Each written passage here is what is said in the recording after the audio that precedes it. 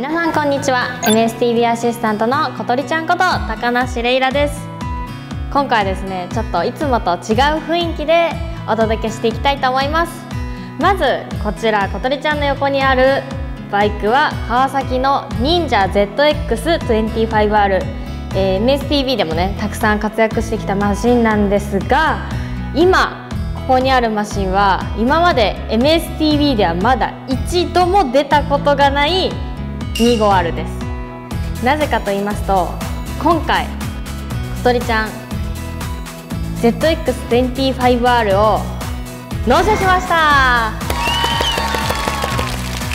はいすでにですね、えー、Twitter とかインスタとか自分の SNS の方では公開していたので SNS の方チェックしてくれてる方はすでにご存知だとは思うんですがまだ MSTV の方ではねちょっと正式に表というかご報告をしてなかったので今回こちらの動画をもって小鳥ちゃんの増車をご報告したいと思います。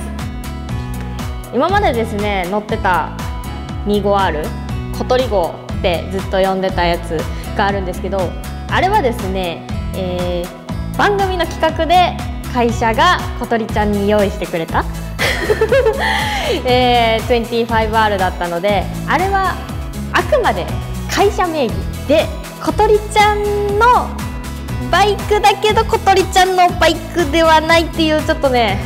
非常に難しい立ち位置のバイクだったんですよ。まあ、でもあのバイクがあったからこそ、えー、2020年の12月24日だったかな？に、えー、川崎プラザ等々力店で購入納車クリスマスプレゼントですね番組からのクリスマスプレゼントとしてでその後、えー、翌年には忍者チームグリーンカップに茂木と鈴鹿で参戦してでそれ以外でも結構ニコニコグランプリとかマルタイとかあとは用意ドンとかあとウィズミツーリングとかもういろんなところで、えー、番組で使わせていただきました。っていうかもういろんな企画で乗ってテストして楽しんでみんなとはしゃいでっていうような形ね。同じバイクを乗ってる人もいれば、えー、乗ってない人でもいいなと思ってもらえたりとかあとは結構ちょっとこれも特別だったとは思うんですけれどあの通勤とかあと街乗りでもそのバイクを使わせていただいてたのでそういうところでももう2年近く1年半から2年ぐらいは、えー、小鳥 ZX25R としてたくさん乗ってたんですが冒頭にも言ったようにあれはあくまで会社名義だったんでいつまでもずっと自分が自由に乗れるわけではなかったんですよ。でまあちょっととうとうお別れの時期が来てしまいこの先どうしようかなって。で初めてバイク買ったのがスズキの GSX250R 番組でも何回か出てるのでご存知の方もいらっしゃると思うんですけどそのバイクを、えー、2019年の1月末に購入してでも購入した瞬間から私はもう2台目のバイクとして大型バイクを買いたいと思ってずっと、えー、貯金してきたんですよ。でおいおい大型バイクを2台目に買うぞ買うぞ買うぞ買うぞって言って散々いろんな人に言っときながらなぜか今回買ったバイクがまた 250cc というちょっとね変わった感じになってしまったんですがじゃあそもそもその GSX250R はどうなったのって思う方もいらっしゃると思うんですが今回の、えー、バイクは乗り換えではなく増車です。なので引き続き GSX250R も乗りつつ今も手元にありそしてこちらの忍者 ZX25R をお迎えしたっていう形で今後は、えー、2台持ちで 250cc2 台持ちで乗っていきたいと思います。まあちょっと簡単になんで2台持ちなのっていうのもさらっとご説明しますと正直ね GSX250R とこの ZX25R は同じ 250cc カテゴリーの中でびっくりするぐらい真逆なバイクなんですよ。こっちは4気筒。で、えー、ジスペケは2気筒。エンジンも SOHC 最高出力も24馬力。だけどこっちは45馬力というもう全然使い用途というこう乗り方とかパワーフィーリングとかがもう全然違うバイクなんで普通だったらやっぱりパワーある方が楽しめるって思うと思うんですけど正直サーキット走ったりする分にはあのもうちょっとね初めて膝キャンに出た時は良かったんですけどあのある程度サーキット走り慣れてからジスペケをサーキット持ってたらあまりにもちょっとねうんもうこの子でサーキット行くと危ないなと思ってもう今は街乗り専用になっててでサーキット楽しむなら 25R って感じなんですけどでも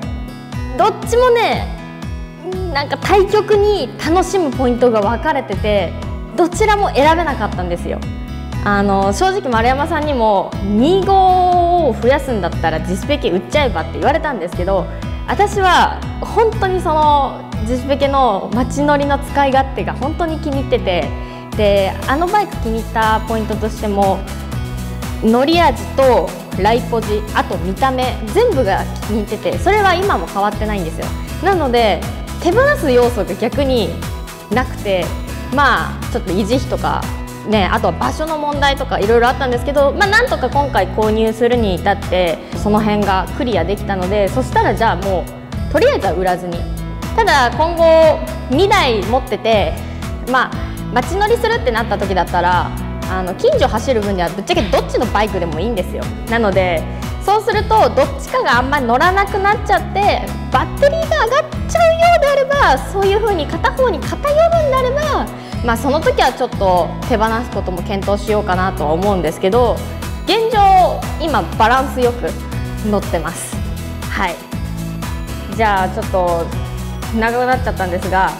なんでこの ZX25R を今になって自分で購入したのかっていうとまあ先ほど言ったようにクリスマスプレゼントで番組企画で、えー、乗る機会をもらってからいっぱいいっぱい乗ってたら、まあ、寂しくなっちゃったんですよ。この先もう乗れないのかなって。なった時に、まあ、ちょうどえー、以前一緒にグリーンカップ出てたね仲間の人がもうちょっとレースしないんでこのバイク手放しますって SNS で募集をかけてたのでまあ即購入させていただきました。で今ねまあツーリングっていうツーリングにまだそんなに行ってないのであそんなことないや。ごめんなさい。嘘ついた。この子で私九州行ってきました。フェリーに乗って鹿児島まで行き鹿児島から桜島の方行ってその後熊本市街地行き阿蘇の方行って阿蘇ぐるぐる回って大分の別府の方行きそこからまたフェリーで帰るっていうツーリングを行ってきました。もうね最高ですよ。回した時の。で実際そのツーリング行った時たまたま行ったメンバーが全員ね大型バイクだったんで唯一 250cc だったんでついていけるかなと思ったんですけどまあこの子やっぱりね 250cc だけど伸びが上の回転の伸びがすごいので問題なくワインディングとかもついていきました。ただ大型バイクと違って回さなきゃいけない分もうエンジンがピーキーな音立ててるんで もう常になんかあのマフラーがねピャーって言ってたんですけどまあでもその高揚感もねやっぱりそういうツーリングとかワインディング行った時ならではの楽しみ方なのでそれをね納車して早速1ヶ月経たないぐらいかでたまたまその九州のツーリング行こうっていうお誘いをもらっていたのでまあそこで実際に一番こう楽しい 楽しみ方ができたかなと思います。サーキットはねまだちょっとあんまり行ってないんであれなんですけどただもともとグリーンカップ出てたオーナーさんから購入したこともあってあのそのまま最低限サーキット走れるようにはなっていますでレギュレーションはまあグリーンカップのものにはなってるんですけど、まあ、ちょっとオーナーさんから買ってそのままの状態なので傷ついてるとこはそのままだったりはするんですけれどまあこれはまたおいおいちょっと気になったパーツを変えていけばいいかなって。今走る分には特に支障もないのでそのまま普段街乗りしています。まあそんなところで今回ね ZX25R をついに小鳥ちゃんが買って自分の名義で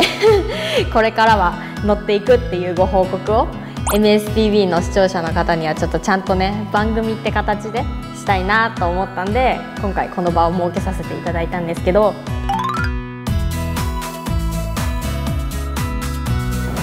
もともとの小鳥号の方はもう今はレース仕様タイムアタック仕様として、えー、ウィズミーのカラーリングも施してバリバリの今後はサーキットをメインに走っていく予定となっているのでちょっと今後は普段使いが難しいかなという感じになってます。先月発表されたこのバイクの兄貴分 ZX4R が間もなくうちの WithMe のガレージにやってくるんですがなんとその 4R が小鳥号2号としてやってくるので皆さんそちらの方もお楽しみにしててください。ということで今後 GSX250R と忍者 ZX25R オーナーの小鳥ちゃんをどうぞよろしくお願いします。それでは皆さん今日のところはこの辺で。さよなら。